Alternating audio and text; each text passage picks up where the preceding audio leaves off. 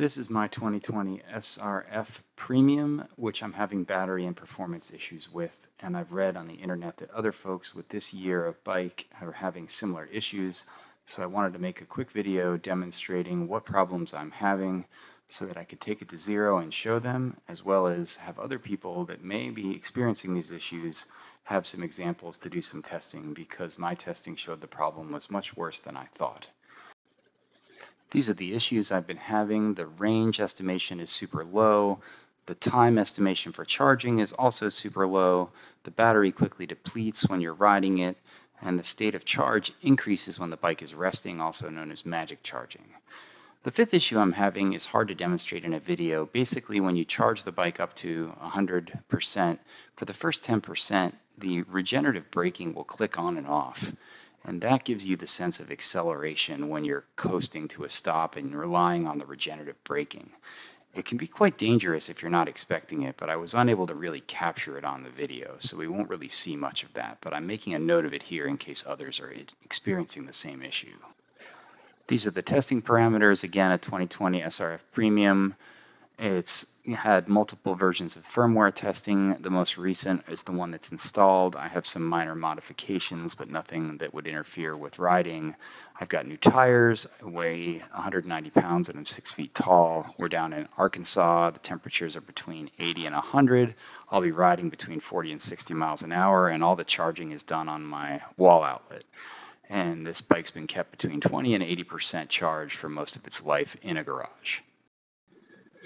So here's what I've been seeing typically on the dash. I charge to 100% and you can see the range estimation is only 40 miles. This used to read 90, 100, 110, but recently it's only predicting I'm going to get 0.4 miles per percent of charge, which of course is very concerning.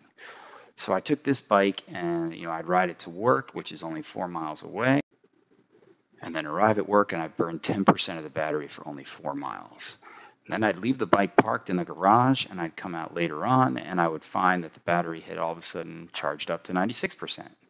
Here's another example where I started at 91% and I went 10 miles and you can see that the range is going to drop all the way down to uh, 66%, so 25% uh, burned off for 10 miles. But then you come back out later and it's at 83%, which would be what I'd expect for the normal battery performance. So then I decided to just ride back and forth to work every day and not do anything else to see how many miles I could actually get out of this fully charged battery. So I charged it up to 100% overnight. I went back and forth to work about 25 to 30 times, and you can see I got 120 miles out of this battery. So that's the amount of capacity I would expect and that I used to get. But remember, I'm stopping in between trips.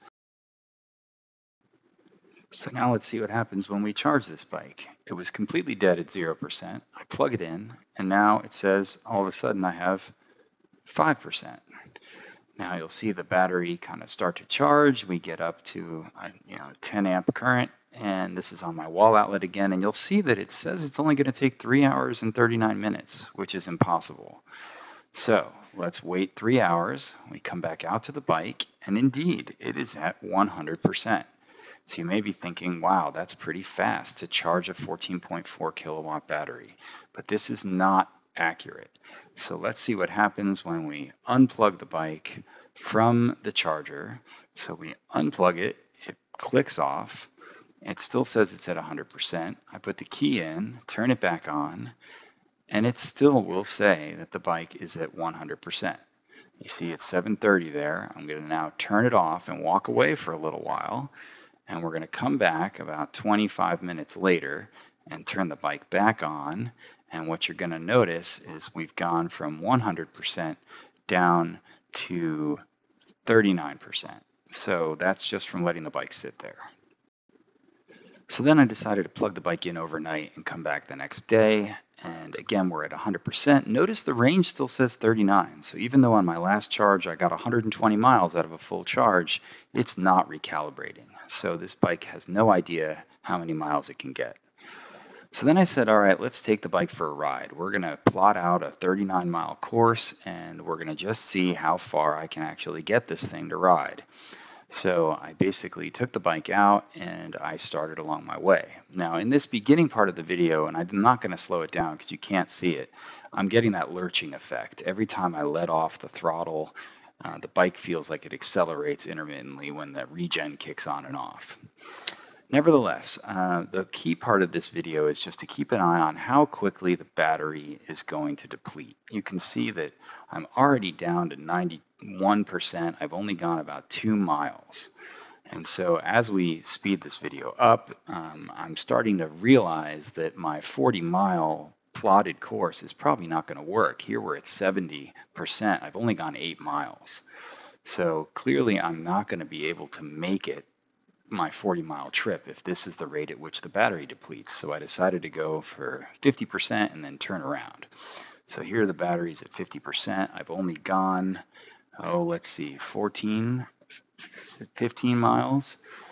And so here we are on our way home, watching the battery just drop off like a rock and you can see here I'm getting down into the you know, single digit. The bike's limping along, it's not accelerating, and then I'm cruising back up into my driveway right at 0%. And when I park this thing, I've gone 27 miles, 100% to zero. Then I let it sit here, and here it comes a time lapse video. Over five hours, the bike sits and just magically recharges itself all the way up at this short period of time to 65, I came back out the next day, it was at 68. So here's the summary. Basically, I can get 27 miles out of a full charge. The estimated range is completely unreliable, and the estimated charge time is an underestimation by about threefold. So I'm going to bring this bike to Zero, and we're going to see what they have to say, and then I'll update everyone.